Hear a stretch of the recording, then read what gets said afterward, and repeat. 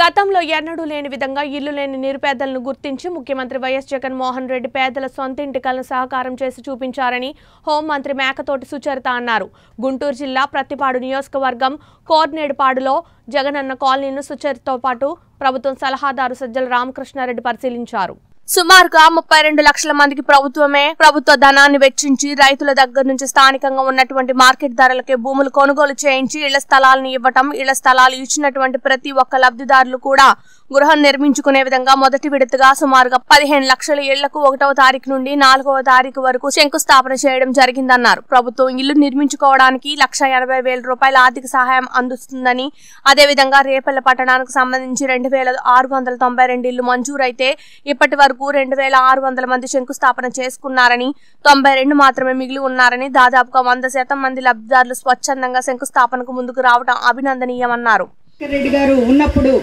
ఆయన గుడిసెలేనటువంటి రాష్ట్రం ఉండాలి అని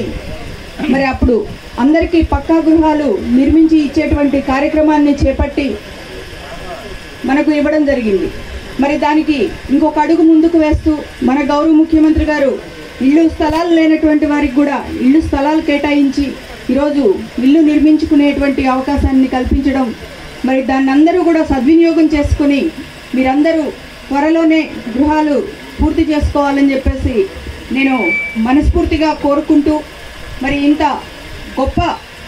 భాగ్యాన్ని మా చేతుల మీదుగా జరిగించేటువంటి అదృష్టాన్ని కల్పించినటువంటి గౌరవ ముఖ్యమంత్రి గారికి మనస్ఫూర్తిగా ధన్యవాదాలు తెలియజేసుకుంటూ ఇప్పుడు మన ముఖ్య అతిథిగా విచ్చేసినటువంటి మన పెద్దలు గృహ నిర్మాణ శాఖ మంత్రులు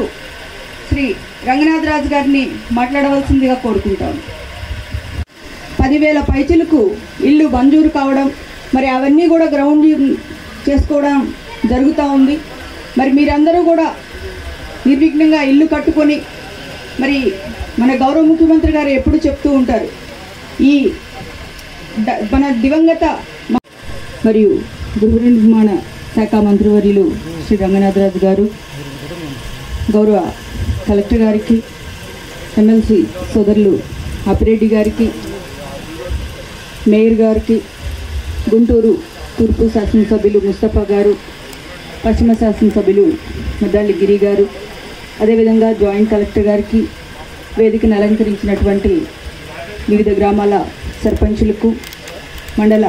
నాయకులకు లబ్ధిదారులకు మీడియా వారికి అందరికీ పేరు పేరున హృదయపూర్వక నమస్కారం తెలియజేస్తూ కళ ఉంటుంది. కానీ దానిని నెరవేర్చుకోవడానికి